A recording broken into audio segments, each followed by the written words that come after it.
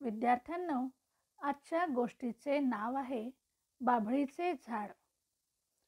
एका आंब्याच्या राईत एक छोटेसे बाभळीचे झाड होते.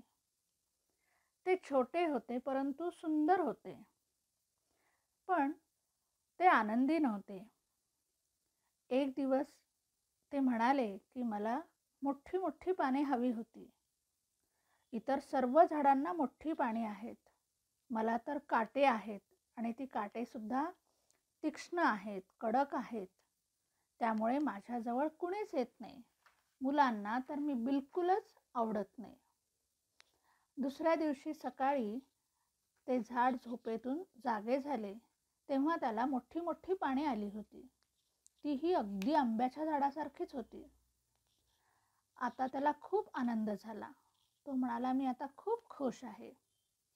पण झाले असे की एक बकरी त्याच्याकडे आली आणि तिने सर्व त्याची पाने खाऊन टाकली. त्या बाबळीच्या झाडाला खूप वाईट वाटले. ते म्हणाले अरे रे रे हे असं कसं काय? मोठी पानं असली की ही सगळे जनावरं खाऊन टाकतात. मला तर सोन्याची पाने हवी होती.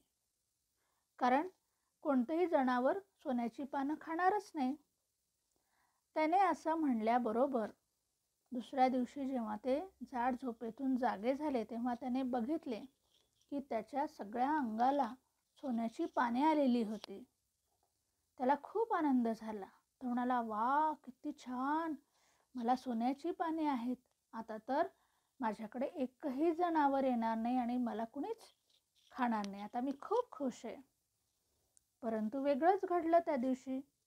एक चोर त्या बाजूला आला आणि ती त्याने ती सर्व सोन्याची पाने तोडून नेली. ती पाने तोडताना त्या बाबळीच्या झाडाला खूप वेदना झाला झाल्या. ते म्हणाले अरे अरे अरे अरे हे काय? हे असं काय करतात लोक?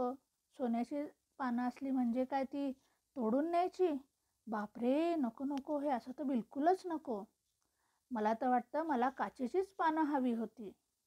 कारण काचेची पानं असल्यावर कोणते जनावर पण खाणार नाही आणि चोर पण चोरून नेणार नाही. दुसऱ्या दिवशी सकाळी जेव्हा ते झाड झोपेतून जागे झाले तेव्हा त्याने बघितले की त्याला सगळ्या अंगाला काचेची पाने आलेली होती. तो म्हणाला वा किती छान! आता तर मी खूप खुश आहे त्याला खूप आनंद झाला. तो म्हणाला बघा बघा माझी पानं कशी सूर्यप्रकाशात चमकत आहेत. परंतु पुन्हा वेगळंच घडले. जोरदार वारा आला. आणि त्याचं रूपांतर वादळामध्ये झालं. सू सू सू असा आवाज येत होता. आणि त्यामुळे सगळी ती काचेची पाने तुटून पडली. ती फुटली खाली पडून फुटली. बाबळीचं झाड म्हणालं अरे अरे अरे अरे हे काय? हे असं पण होत असतं का? की हा वारा सगळी ही पानं तोडून टाकतो? नको नको नको नको. मला तर माझे काटे आणि माझे लहान लहान पानेच पुन्हा हवी आहेत. कारण माझे मला काटे असल्यामुळे माझ्याकडे कुणी येत पण नाही आणि माझी पानं लहान असल्यामुळे कोणतं जनावरही मला खाऊ शकत नाही चोर पण चोरी करू शकत नाही आणि वारा तर बिलकुलच नुकसान करत करत नाही.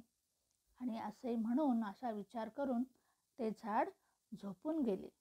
दुसरे दिवशी जेव्हा ते जागे झाले तेव्हा त्याने बघितले की त्याला पहिल्यासारखे पुन्हा त्याचे सर्व काटे आणि छोटी छोटी हिरवीगार पाने आली होती. तो म्हणाला वा आता मला माझं पहिलं रूप पुन्हा प्राप्त झालेलं आहे. नको रे बाबा दुसऱ्या गोष्टीचा हव्यास तर धरायलाच नको. आपल्याला जसं देवाने दिलेलं आहे देवाने घडवलेलं आहे आपण तसंच राहायला पाहिजे. त्यातच आपलं सुख आहे समाधान आहे आणि आपण त्यातच आनंदी राहतो.